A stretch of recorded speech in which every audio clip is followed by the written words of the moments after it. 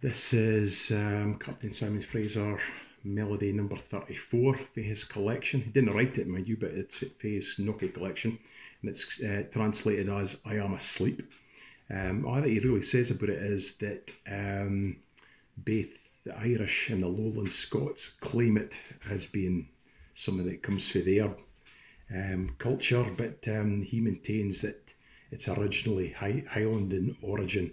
There's definitely bits and pieces that sound familiar, it's got a bit of a Burns song in there, and he did use Gaelic melodies. Um, there's a wee bit reminded me, oh, um, is it the Sally Gardens or something like that? So, um, but according to him, and he was backed up by other folk for the Highlands, was a somebody McNeil um, affirmed that he felt it came for the same places. It's definitely a Highland tune. So, well, anyway, that's about all I can say about that.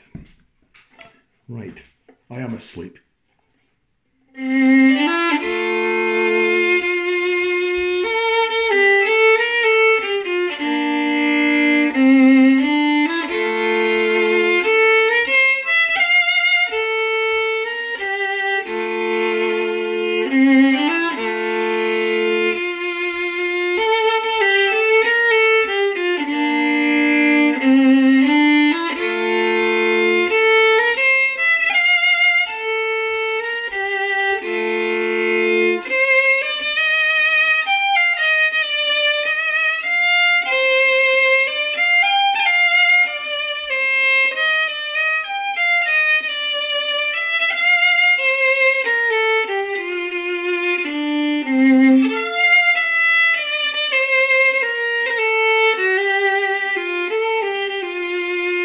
Yeah,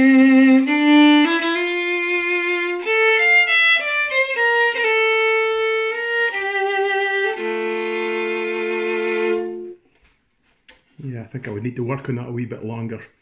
Um, make sure it's quite up to scratch, but that, that's I'm doing with it.